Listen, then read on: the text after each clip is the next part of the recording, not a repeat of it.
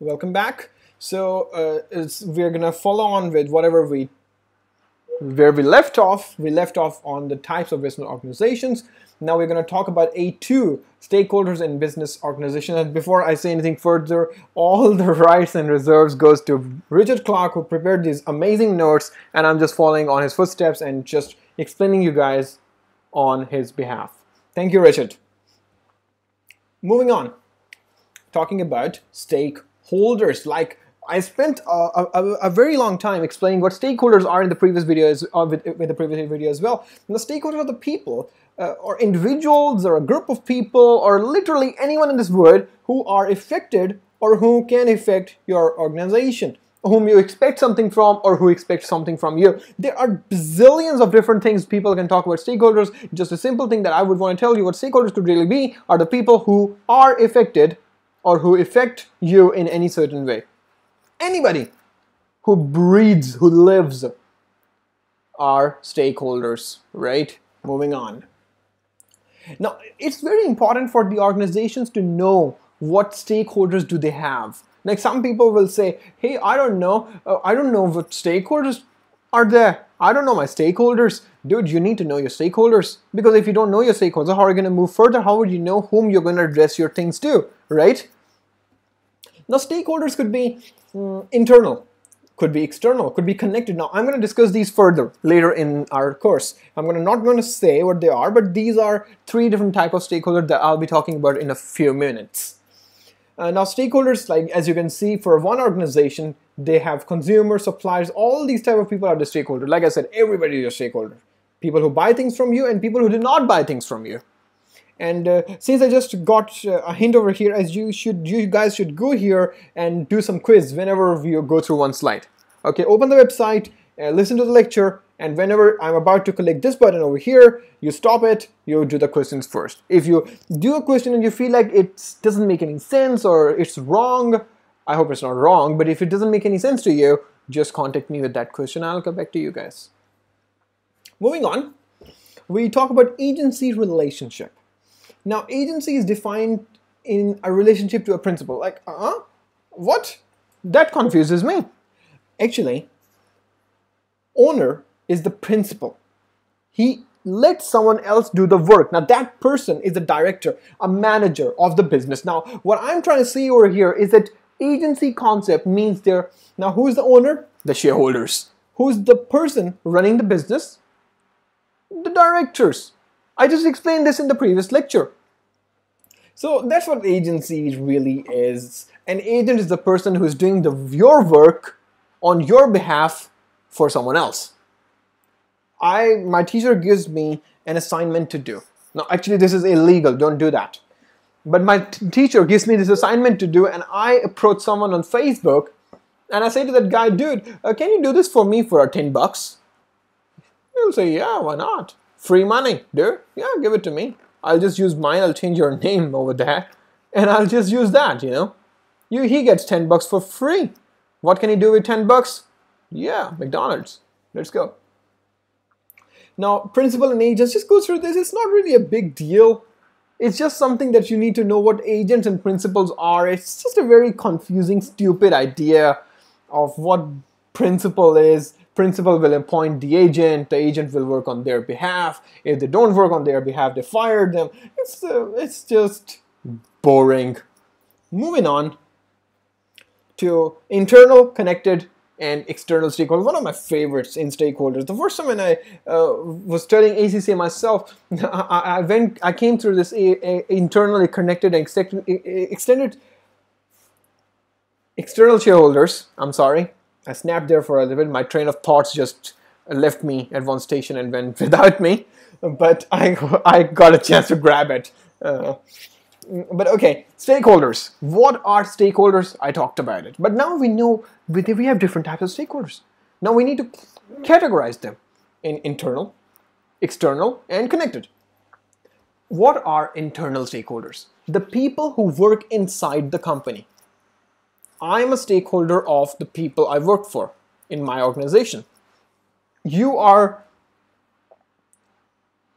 your company's stakeholder, internal stakeholders, the people who are involved inside of the business. They are internal stakeholders. Why are they stakeholders? What are they trying to get? Now, I'm an employee of the company. What, how am I a stakeholder? How am I an internal stakeholder? I want the money of the company. I want the salary every month. I want bonuses. I want promotions.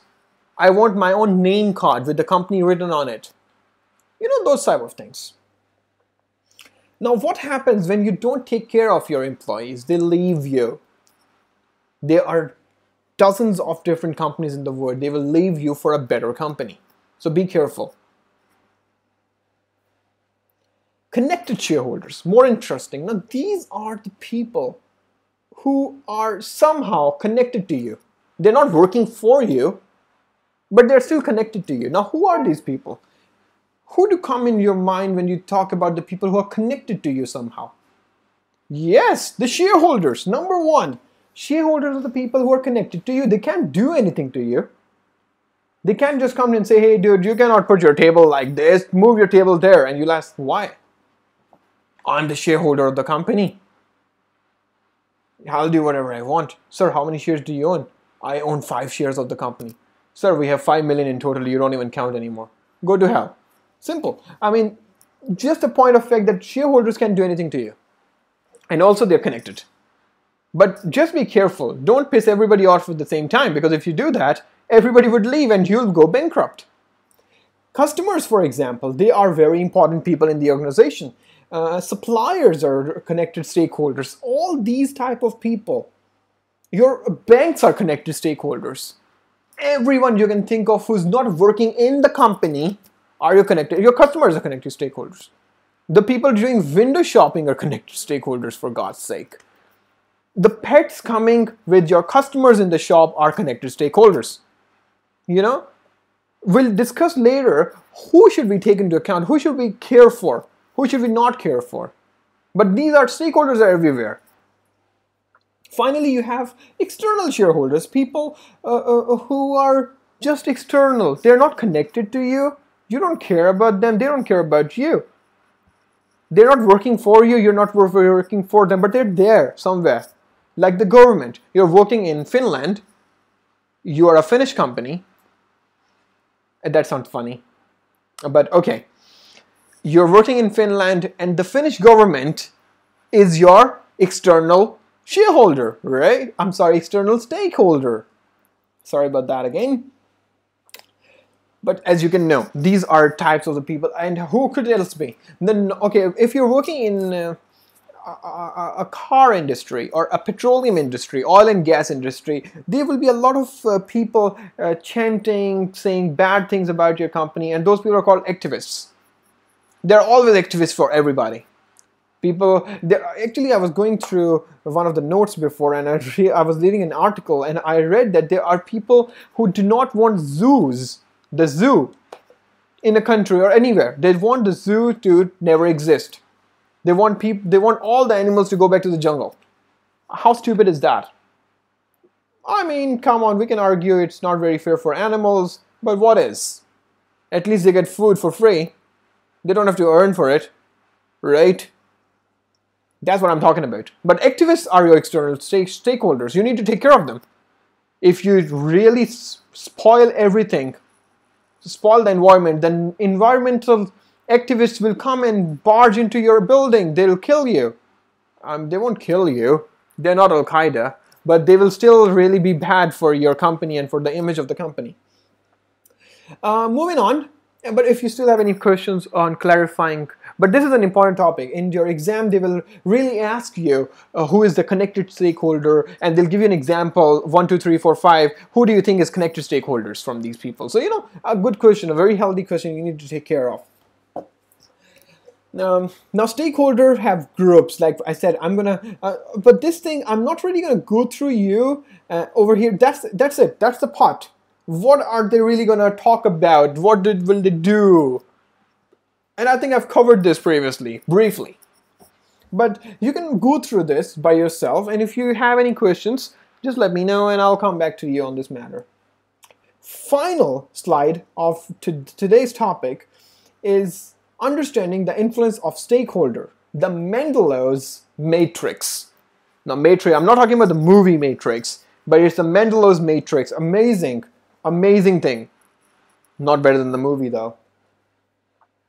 Moving down, so the Mendelow's framework, or matrix I used to call it, uh, is supposed to have three different things power, interest, and influence. Now, what's the power? Now, when you're doing, you say, hey, there's a customer buying one candy from my shop, and there's a customer buying 500 candies from my shop. Who should I take care of? I mean, in this example, it's very obvious. You take care of the person who's buying 500 candies from you. But wait, there's still one person buying one candy from you. Can you take care of him as well? You should. You should do that. But how to know who are the stakeholders we should think about, who we should spend more time with? This is the framework, this is the matrix for them. Power. How much power do they have? How much what damage can they do to the company if you don't take care of them? How, what's their interest? Are they even bothered about your company? Do they even care that you exist? I don't know. Maybe yes, maybe no. Moving on, do they have any influence? Now, influence is just power versus uh, multiplied by interest. Like, what's the figure that comes to? Now, I'll explain to you guys one by one. Here, as you can see. Now, the first thing is the power is low. The stakeholders' power is very low. The level of interest is very low as well. A clerk working in an office now he is getting thousand dollars a month. He saw he, uh, he now one of the persons working there, one of the employees, put their paycheck over there, forgot to take it, and the clerk, while cleaning everything up or just looking through uh, some private documents of that employee, finds out that this employee earns five thousand. Now the clerk gets very offended that he's working more hours and stuff like that. He somehow had this feeling that you know I am gonna kill them. I'm going to talk to the HR. He goes to the HR, he barges in there, kicks the door open, and he goes there and says, Dude, I need $2,000 my salary. I need $2,000 for my salary from next month onwards. He says, Sorry, that's not going to happen. That's the market rate. You're just going to get 1000 That's it. Live with it. That's your life. He says, No, you need to give me 2000 or else I'll stop working. You know what the HR is going to say? Fine by me. Go. Then he'll be crying on his knees saying sorry. But that's not going to work out because the person is already leaving. He already resigned. Or he's terminated because of his behavior.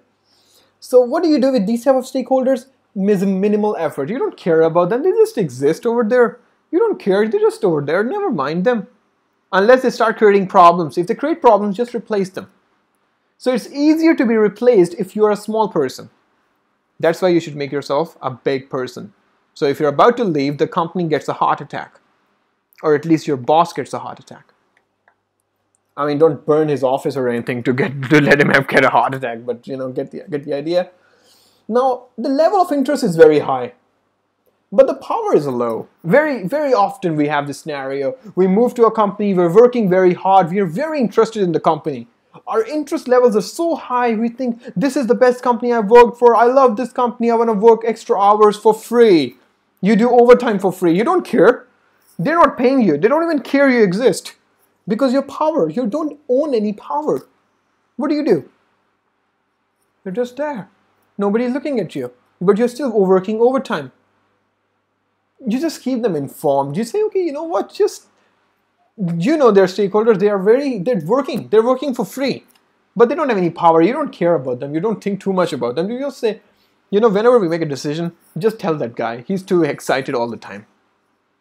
So you just go and tell that person. So keep them informed. Simple. If they have low power, low interest, you don't do anything. If they have high interest but no power, or low power, you just keep them informed. You just tell them what's happening in the company. Just let them go. Now I'm going to change my example to employees to dog. Now you, you'll be like, what dog? But it's a good example. It's a very good example. I've been using it since 2013, so you're going to like it, I hope. Now the level of interest is low but the power is high. Now I'll tell you, you, your, your mom or your friends or anybody asks you to go down to the grocery store and get some uh, chips, anything, any junk food that you guys want to eat with a movie. You go down, you buy the stuff. When you're walking back, you see there's a bulldog, a huge dog just sitting over there. Now, do you think he's powerful? Yes, he is. Do you think his interest is low or high? Now he is sleeping. His interest is very high. What do you do? Just walk slowly beside him. You don't have to wake him up. His power is very high, but he doesn't care about you. He's sleeping. He's just sitting over there. He doesn't care. What do you do? You just go around him. You just keep him satisfied. He's sleeping. He's satisfied. He's dreaming about a bone or something. Fine. Let him do that. You just move past him. Simple. Keep him satisfied. Don't bully him. Don't give him that spark that will explode him. Just let him be. Just let him be. The next example, same example, you're coming back. They have lots of power. They have a lot of interest in you. You are holding a piece of chicken. And that dog is hungry. You don't give that ch- chicken to that dog, he eats you up. He's a bulldog, he's a fighter. He's standing up, he's looking into your eyes. You're terrified. He is not. His power is high, his interest is really high. What do you do? They are the key players. You let them do whatever they want. You throw the bone with the chicken over there, let him eat it, you move past him. If they want something, do it. Meaning of this is that if there are people, for example, in real world, coming back to the keep satisfied scenario, who are these type of people? They are like your uh, uh, uh, non-executive direct auditors. Okay, auditors. They have a lot of power. They can kill you. They can kick your butt but they're not very interested in your internal company businesses and talk stuff like that. You can't say that you're fighting with your employees and stuff, right? No, that doesn't make sense. So just keep them satisfied. When the auditors come once a year, keep them happy. Take them out for lunch. Don't bribe them, but take them out for cheap lunch, lunches and stuff. You know, just keep them happy. Just let them be. But key players are the investors in a company. That guy invests 5 million every year in the company he is 75% owner of your company.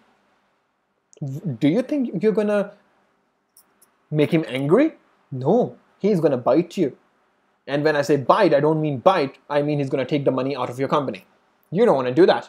So do not do that. So uh, having said that, I think I've spent enough time over here. And these are the explanation if you really want to read it. So go through the website and uh, read Mr. Richard's ex explanation as well and uh, I'll let you guys decide whose explanation was better.